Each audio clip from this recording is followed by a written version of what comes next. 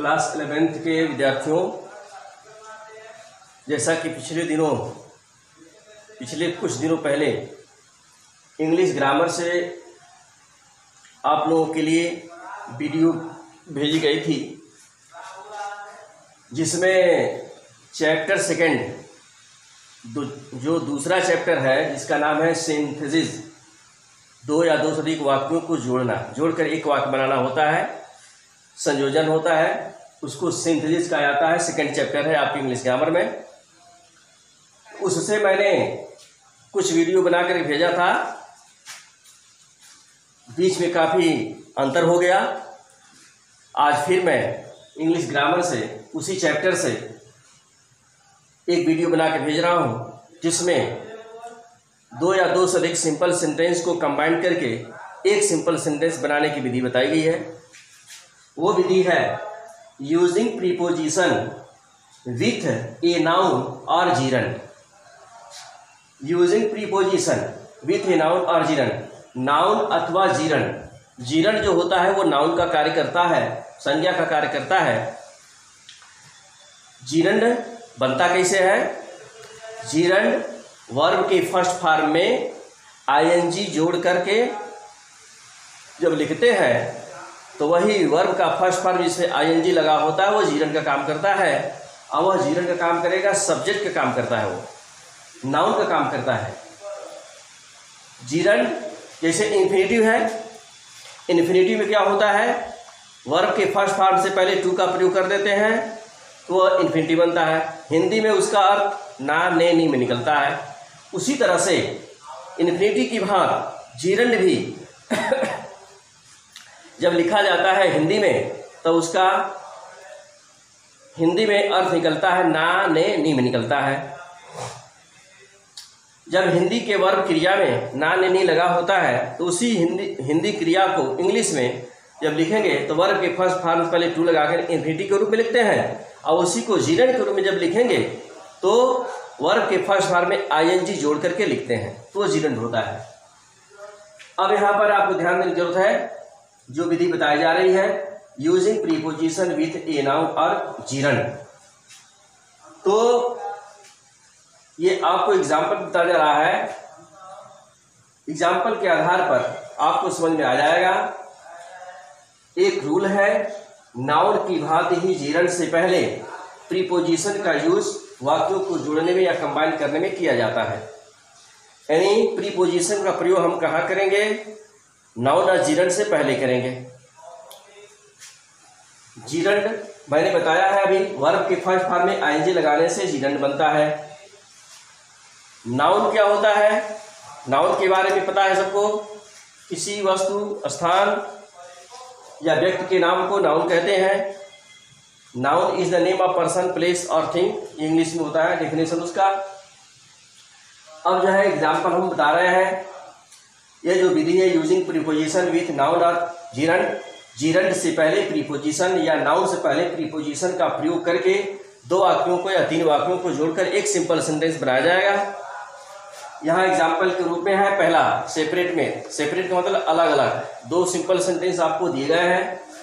The moon rose her journey was over the moon rose चंद्रमा निकला। Her journey was over. उसकी यात्रा समाप्त हुई। The moon rose after her journey was over. उसकी यात्रा समाप्त थी। तत्पश्चात द मून रोज। क्या हुआ, चंद्रमा? निकला। He drew fast he hit a second example है ही। ड्रो फास्ट ड्राइव का सेकेंड पार्ट ड्रो होता है। वह तेज चलाया। ही हिट मैन वह एक आदमी को धक्का दे दिया। वह तेज चलाया और धक्का भी दोनों कार्य किया है। इसको बिसाइड से कंबाइन करेंगे। प्रीपोजिशन है besides besides driving fast drive को ड्रोव जो है फ़र्स्ट फार सेकेंड फार इसको फ़र्स्ट फार में ड्राइव कहेंगे। इसमें आई लगा दिए तो जीरन बन गया। जीरन से पहले प्री पोजिशन लग गया बिसाइड्स बिसाइड्स में क्या अतिरिक्त होता है। बिसाइड्स ड्राइविंग फास्ट तेज चलाने के अतिरिक्त ही हिट मैन वो एक आदमी को मार दिया। तीसरा एग्ज़ाम्पल है her mother met with an accident उसकी माँ की दुर्घटना हुई।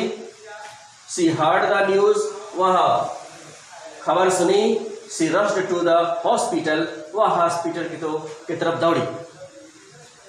अब यहाँ पर क्या है? ये she heard the news he heard verb का सेकंड फार्म है। इसको फ़र्स्ट फार्म में लाएँगे और उसमें आई लगाएँगे और प्रीपोजिशन लगाए on on hearing the news of her mother's accident अपनी माँ के दुर्घटना की खबर सुनने पर ऑन हियरिंग सुनने पर she rushed to the hospital वह हॉस्पिटल या अस्पताल की तरफ़ रस्ट की, दौड़ी। या भागी। इस तरह से तीन एग्ज़ाम्पल दिए गए हैं। पहले एग्ज़ाम्पल में आफ्टर प्रीपोजिशन है और उसके बाद हर जर्नी ये नाउन है। तो नाउन से पहले आफ्टर प्रीपोजिशन का प्रयोग किया गया है। सेकेंड एग्ज़ाम्पल में ड्राइविंग जीरंड है। जीरंड से पहले डिसाइड्स प्रीपोजिशन का प्रयोग किया गया है। तीसरे एग्ज़ाम्पल में है द न्यूज़ न्यूज़ जो है, खबर। ये एक तरह से नाउन है। इसके पहले ऑन हेयरिंग जीरंड में हियरिंग जीरंड है जीरंड से पहले ऑन का प्रयोग किया गया, जो कि प्रीपोजिशन है। इस तरह से तीन एग्ज़ाम्पल आपको दिए गए हैं, और आगे भी। एक एग्ज़ाम्पल और बता दे रहा है, समझा दे रहा है।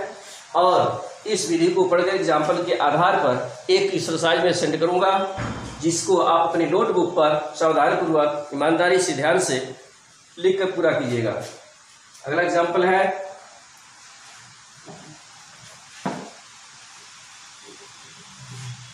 ये सेकंड चैप्टर से है, आपकी ग्रामर इंग्लिश ग्रामर के सेकेंड चैप्टर आप बुक कर लीजिए और बुक में आप देखेंगे ग्रामर में, ये चैप्टर आपको मिलेगा।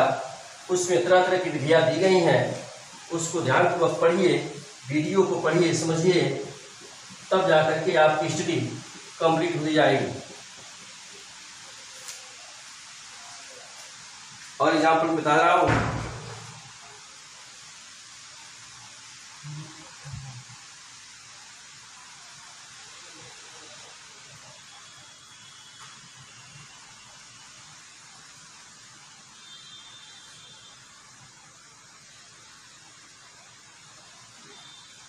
Tagore was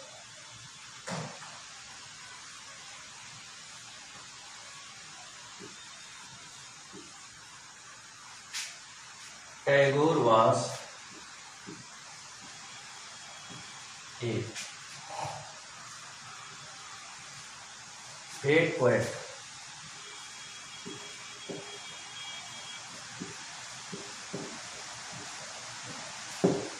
दूसरा वाक्य है he was a good painter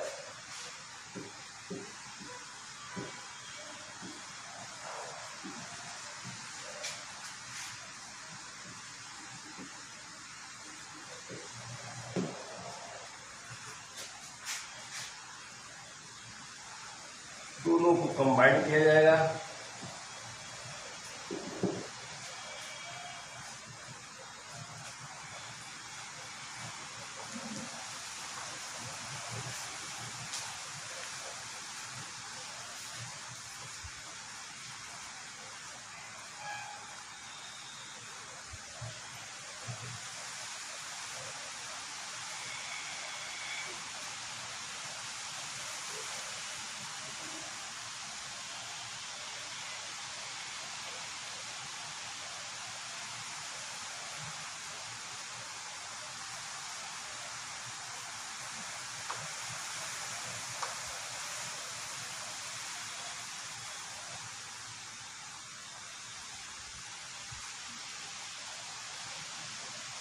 besides,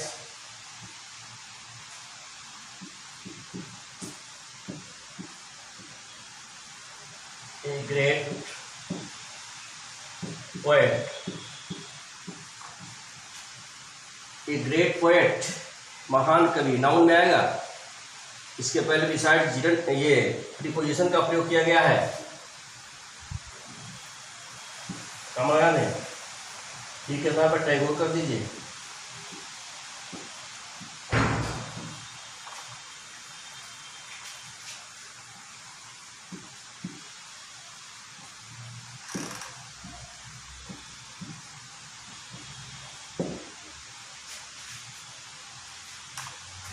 mistake है गुड गुड पेंटर यानी जी बिसाइड्स ए ग्रेट पोएट एक महान कवि के अतिरिक्त Tagore was a good painter Tagore एक अच्छे पेंटर थे, चित्रकार थे। इस तरह से एग्ज़ाम्पल आपको बताया गया है। इस एग्ज़ाम्पल के आधार पर एक एक्सरसाइज भेजी जाएगी। और उसको आप ध्यान से पढ़िएगा एक्सरसाइज को नोटबुक पर तैयार कीजिएगा। आज बस इतना ही रहेगा। कल जो है using adjective adjective phrase and conjunction के प्रयोग से दो या दो से अधिक सिंपल सेंटेंस को जोड़कर एक सिंपल सेंटेंस बनाने की मेथड मैं कल बताऊँगा। आज बस इतना ही रहेगा। धन्यवाद।